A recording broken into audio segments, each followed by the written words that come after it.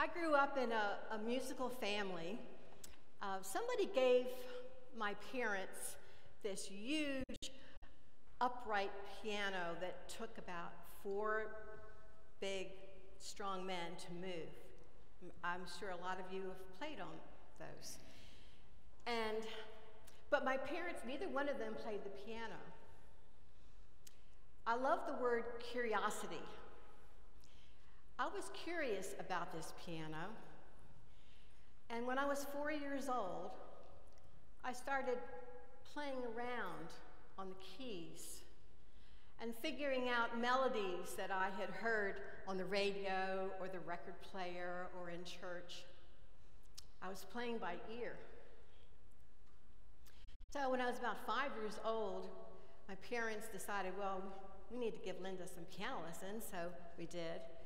And the piano teacher would play the, the piece for me. Now, Linda, this is what it's going to sound like when you learn it.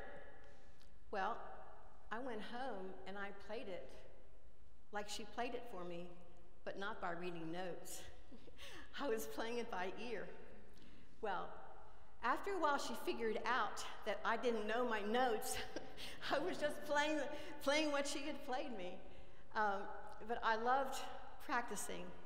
And um, my brother Don um, is um, a year and a half younger than I am, and so we did a lot of music together. He played the trombone, and I would accompany him and our family. I had two other brothers that were very musical, played the guitar and wrote their own songs and everything. And we would sing as a family. Um, and so Don and I went to college and majored in music, graduated, went our separate ways, both got married. And um, I was very active musically in the church that my husband was the pastor of in Houston, Texas.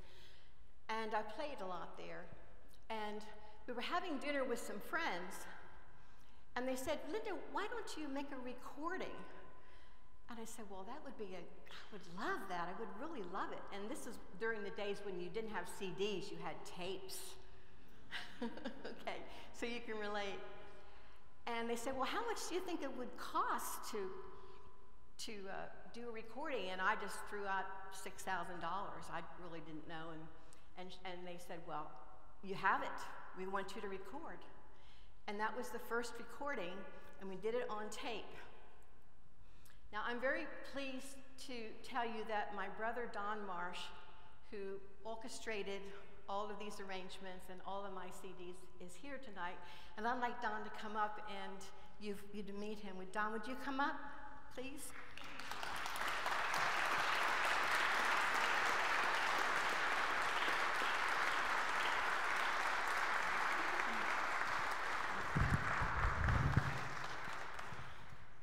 So I'm, Don, I'm at the point where I have this tape in my hand that you and I have done. And do you remember what you did with that?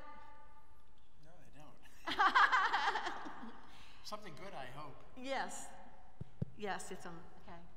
Well, you were working um, with Brentwood Recording. Oh, yeah. Okay. And you. So uh, we recorded with orchestras, including uh, going to London and recording with the London Symphony. But how did you convince the president of Brentwood Records that this is something he should do? Well, I played him a tape that you had made before, and uh, he was quite impressed with it. And um, I thought your arrangements was, were original and worthy of being recorded on a label. well, great. Is that a good answer? yes. And uh, like um, you already know, um, I was 49 when I signed my first contract. And in today's world, that is pretty old to be starting a career, especially in the music business.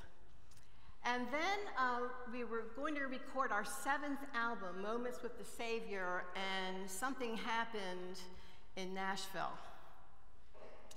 Well, uh, there was a union strike, and so uh, even though we were used to, you know, paying union uh, rates and everything, it just they shut the town down and we couldn't record. Right, so where'd we go? Well, if you couldn't record in Nashville, where would you want to record? I don't know. Take a guess. London. So we went to London, and um, you know, Uh, the London Symphony did not invite us over. Uh, we hired them. And uh, it's amazing what people do if you pay them. The wonderful thing is that they were extremely gracious, not only outstanding musicians, but really, really gracious. And, uh, you know, who is, who's Linda McKechnie, who's Don Marsh, you know, but they were very, very uh, gracious. And uh, that was Moments with the Savior. And um, I've played a couple of things from that tonight and will. So uh, let's see what I was going. Oh, I know. I want to know. I want you to tell them what you're doing now. Okay, well, I uh, teach at Liberty University, so we, my wife Lori and I drove over this afternoon. And um, pardon? Talk louder. Louder. Oh, pardon me. You'd think I never used a mic before. Uh, so uh, I am able to teach young people who are budding musicians and aspire to uh, arrange, compose, and conduct and teach them everything I know. That takes about two weeks, and then I fake it from then on. well, they're very, very fortunate to have you, and um, I love you very much, and thank you so much for coming.